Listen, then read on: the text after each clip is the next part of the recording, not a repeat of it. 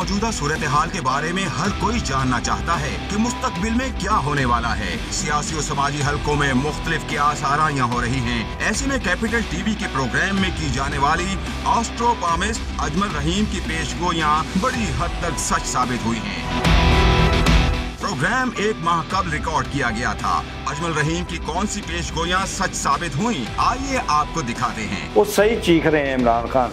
कि मेरी जान को खतरा मेरी जान को खतरा एस्ट्रोलॉजिकली वाकई जान को खतरा उन पे अटैम्प्ट हो सकती है अल्लाह ना करे अल्लाह ना करे अल्लाह ना करे असैसिनेशन वो मे भी जेल जा सकते हैं। उसमें यूनिफॉर्म फोर्स भी आप की पिसेगी। ऑस्ट्रोपामिस्ट अजमल रहीम ने इमरान खान के बारे में प्रिडिक्शन की थी कि इमरान खान की जान को खतरा है। अब मई के महीने में एक तो उनके डोमेस्टिक इशू चल पड़ेंगे।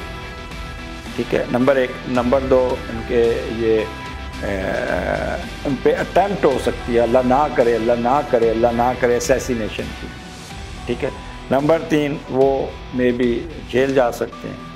नंबर चार, वो एग्जाइल में चले जाएँ, बाहर चले जाएँ और कुछ अर्सा बाहर जाके आराम करें। तो लोग मज़ाक उड़ा रहे हैं ना कि जो ऊपर उन्होंने टोल ली होती है, काले और ये, वो ठीक कर रहा है वो, बहुत ठीक कर रहा है। और उसकी इस वक्त ना बड़ी नाजक दौर में है उनकी लाइफ और उनकी। अगर अजमल रहीम के अंदाजे सच साबित हो गए हैं और सितारों की चाल ऐसे ही चल रही है तो फिर आने वाले दिनों में उनकी ये पेश गोई भी सच साबित हो सकती है कि अगली हुकूमत टेक्नोक्रेट्स की होगी। अब अल्लाह करे कोई बेहतरी है जब तक टेक्निकल हुकूमत नहीं ना तो सितारों में है पाकिस्तान की कोई टेक्निकल ऐसी टेक्नोक्रेट अब आ जाएगी? अब आ जाएगी। कब तक ये अक्टूबर में इंशाल्लाह ताला आपकी टेक्नोक्रेट अभी ये मई के बाद ही शायद बन जाए टेक्नोक्रेट और इलेक्शन के बारे में क्या कहा ये भी जान ले। तो ये कहते थे कि अक्टूबर में इलेक्शन हो जाएँगे। उस मैंने आपके प्रोग्राम में कहा था कि इलेक्शन नहीं होंगे। फिर आया जी मार्च अप्रैल में होंगे। नहीं हुए। फिर आप कह रहे थे कि तीस अप्रैल को होंगे। मैंने फिर टीवी पे कहा था नहीं होंगे।